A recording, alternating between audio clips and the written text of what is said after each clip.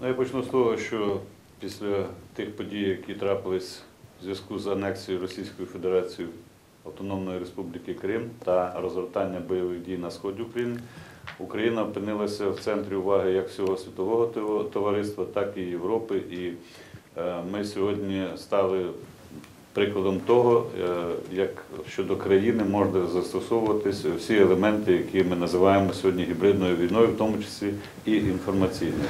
Aș începe prin a ceea că începând de la evenimentele care au precedat uh, anex, uh, anexarea Crimeei și începutul războiului în partea de est a Ucrainei, avem de a face cu un nou tip de război, care o parte componentă a căruia chiar este și războiul informațional.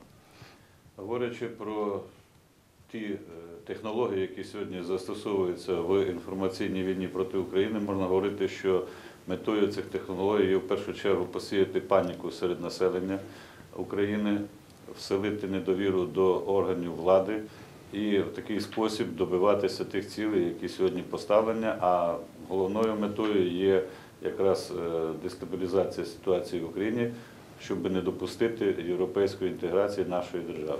Uh, Unul dintre scopurile acestui război informațional este ca să inducă un, un spirit de neîncredere, în primul rând, în populația Ucrainei, ca să nu uh, fie susținute de către populația autoritățile ucrainene, să fie o situație de incertitudine totală, în final, să spunem așa, ca Ucraina sau conducerea Ucrainei să renunțe la orice planuri de integrare europeană a statului. Cât este de extins și prin ce mijloace? Prin mass media tradiționale, prin internet? Care sunt mijloacele preferate які pentru засоби propagandă? використовуються? Тільки традиційні, чи і в тому числі і електронні? всі наявні можливості як технічного характеру, так і інформаційного характеру, зокрема і мережі інтернет, соціальні мережі, телевізійні канали, всі можливості, які сьогодні є технічно можливими щодо застосування, ми це сьогодні відчуваємо на собі, і вся країна сьогодні е, знаходиться під впливом е, цих е, пропагандистських е, інформаційних е, хвиль, які йдуть з Російської Федерації.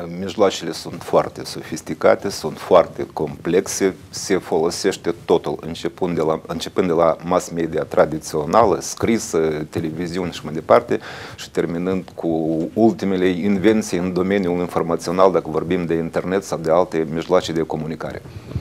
Deci putem vorbi despre o propagandă rusească, Можемо говорити про російську пропаганду. Звичайно, звичайно, Росія сьогодні, приховуючи це в різний спосіб е, через використання е, різних політичних сил, журналістських кіл, е, так званих громадських діячів, громадських організацій, веде від, від, відверту, я би сказав, таку війну інформаційну щодо України, де застосовується поряд із важким озброєнням, е, військовою технікою, найманцями всі е, елементи інформаційного впливу на Україну. Da, este vorba de o propagandă absolut uh, clasică din partea Rusiei și ca atare efectele acestei propagande de multe ori uh, nu sunt uh, mai uh, mici sau uh, efectele nu sunt mai îngrozitoare decât uh, chiar și un război tradițional, deoarece este adresat împotriva tuturor uh, păturilor sociale uh, din populația ucrainene.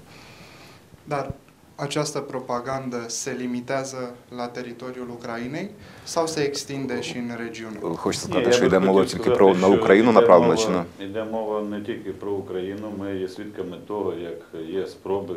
Ну на- наразі вони ще не зреалізовані, слава Богу, але робляться спроби, спроби е, розділити країни Європейського Союзу, посварити Сполучені Штати з Європейським Союзом, а в Європейському Союзі зробити робляться спроби поділити е, Європу на країни, які сьогодні більше підтримують, менше підтримують Україну використовуючи різні політичні сили, які є в цих країнах, е, метою є ізоляція України і в такий спосіб е, знову ж таки перешкоджання європейському курсу нашої держави. Nu, bineînțeles, nu este vorba nu numai de Ucraina. Eu vorbesc despre Ucraina deoarece o reprezint, dar bineînțeles că se lucrează foarte intens și asupra uh, mediului informațional din Uniunea Europeană și ca atare scopul este ca să fie uh, această comunitate europeană să fie divizată și cunoașteți foarte bine exemplele unde roadele într-o oarecare măsură chiar au fost uh, atinse sau scopurile de către partea rusă au fost uh, atinse ca uh, comunitatea europeană să nu vorbească cu un singur glas, să nu vorbească în unison și bineînțeles că totul uh, ca finalitate ar trebui să aibă ca să Ucraina uh, să nu aibă susținere din partea Uniunii Europene ca ceva întreg. Spuneați că s-au sofisticat mijloacele de propagandă, dar cum apar acestea în spațiul ucrainean, în Ucraina? Uh, Dețin oligarhi ruși mass media tradiționale, dețin rețele de socializare prin care aceștia pot influența mesajul sau cum ajung să fie, să ajungă la masă? Як ця російська пропаганда ну, доходить, доводиться до населення України? Чи належать ЗМІ е, російським олігархам, там, чи належать там якісь електронні там, ці канали російським або якими іншими способами? Ну я хочу сказати, що за всі 23 роки незалежності України інформаційний простір України будувався за активної участі е, відповідних е, російських е, впливових осіб.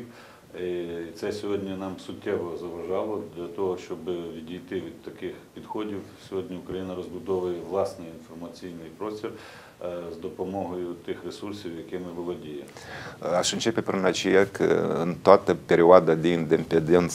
Ucrainean, vorbim de mai mult de 20 de ani, ca atare, uh, uh, cele mai importante uh, televiziuni uh, sau uh, posturi de radio și mai departe, cel puțin ca acționari au avut surse rusești. Bineînțeles că este vorba nu numai despre partea financiară, este uh, vorba și despre politica redacțională, despre ceea ce se spune și cum se spune și în ce direcție uh, se, se, se lucra în acest sens. Bineînțeles că statul ucrainean în sfârșit a înțeles cât de păguboasă este această politică de a da voie ca aceste uh, finanțări să aibă loc și care sunt rezultatele acestor finanțări din partea Rusiei și se încearcă protejarea spațiului național informațional.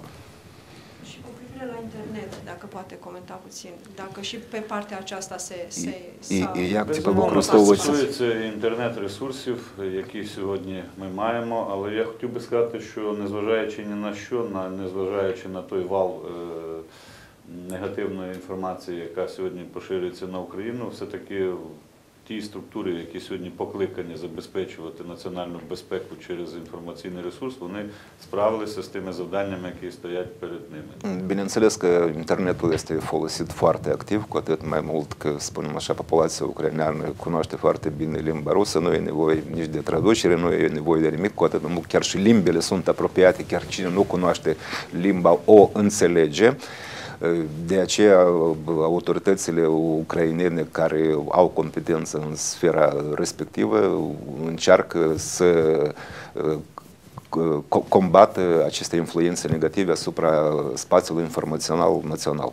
Головною метою цих інформаційних атак на Україну є такий загальний підхід, я би сказав, розділяй і володарюй. Тобто сьогодні е, робляться спроби протиставити захід сходу України, е, північ е, півдню, е, центр е, іншим периферійним е, територіям для чого для того, щоб на національній основі, на етнічній основі посіяти ворожнечу і внутрі нашої держави. В такий спосіб метою є знищення України як такої з карти, з карти Європи. Nu, Mijloacele folosite de către propaganda rusească, indiferent că vorbim de mass media tradițională sau uh, alte mi- mijloace, sunt destul de primitive. Este vorba de a diviza societatea ucraineană, indiferent că vorbim de criteriul etnic, da, populația majoritară și populația minoritară, că vorbim de nord, că vorbim de sud, că vorbim de partea de est care este mai uh, rusificată mental sau partea de vest care este, care este mult mai aproape de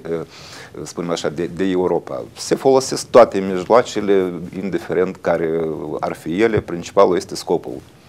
Я би поділив е, цю е, підходив в пропаганді на дві частини. Перша це дискредитувати зовнішнє дискредитація України, дискредитувати Україну в очах е, європейського товариства, світового співтовариства як країну ненадійну, як країну, яка має нестабільну владу, дискредитувати уряд, дискредитувати президента, дискредитувати український парламент, е, створити такий імідж для України як країна, е, яка є е, штучною, е, якої раніше не було на карті Європи, і в такий спосіб е, створити елементи недовіри до нас ззовні.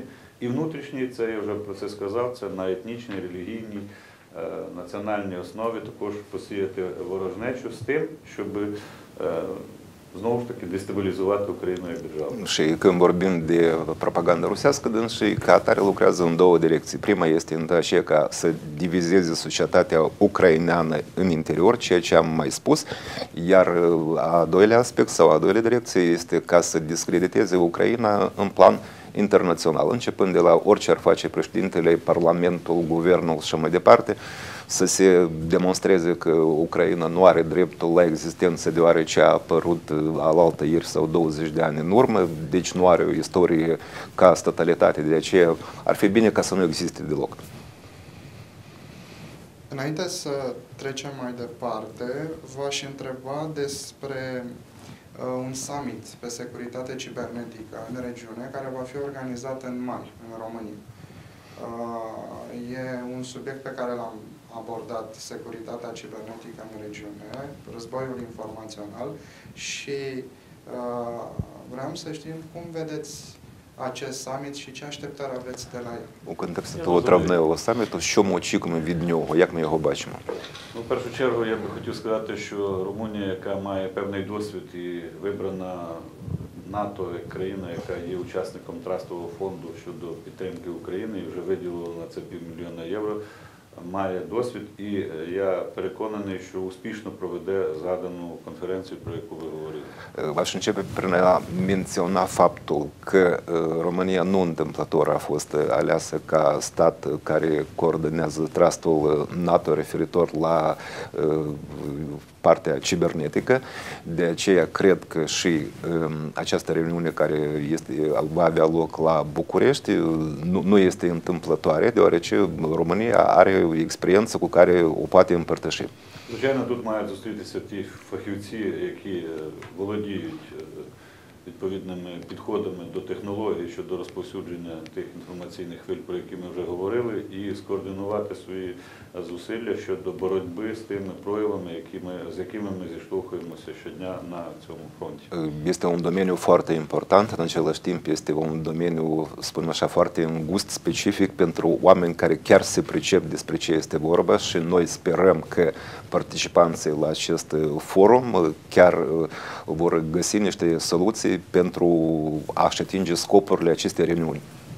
A spus că nu întâmplător România a fost aleasă ca locație pentru organizarea acestui summit. Uh, Vedeți un rol mai mare pentru România în реgiune? Ce așteptări aveți din punctul acesta de vedere? У тому числі і у зв'язку з тим, що Румунія була обрана як місце для проведення цього саміту. Чи бачите ви якусь ще більшу роль Румунії або що очікуєте від, від Румунії в регіоні в цьому сенсі? Я би сказав, що по мірі того, як розвивалися події в Україні, Румунія зайняла чітку позицію з самого початку. Е, ця позиція заключалася у підтримці цілісності, суверенітету незалежності нашої держави, що сформувало навколо Румунії в Східній Європі, в Європі в цілому, я би сказав, доволі позитивний імідж як країни, яка має стабільну зовнішню політику щодо свого сусіда, щодо України. Ar fi bine să menționez de la bun început că chiar de la începutul evenimentelor din uh, Ucraina, uh, România a avut o poziție foarte uh, consecventă și constantă și foarte distinsă, să spunem așa, referitor la ceea ce se întâmplă și uh, reacția României a fost foarte concretă.